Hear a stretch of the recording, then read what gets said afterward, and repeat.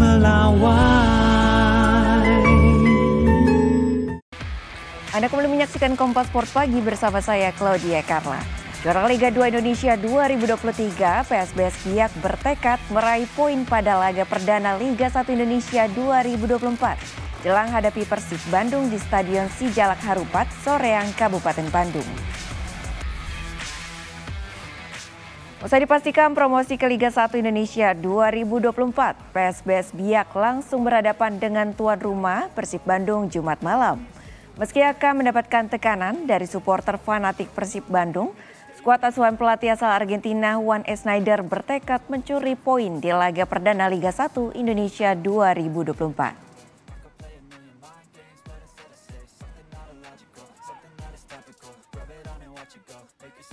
Saya, kami pemain sangat respect buat tim tuan rumah.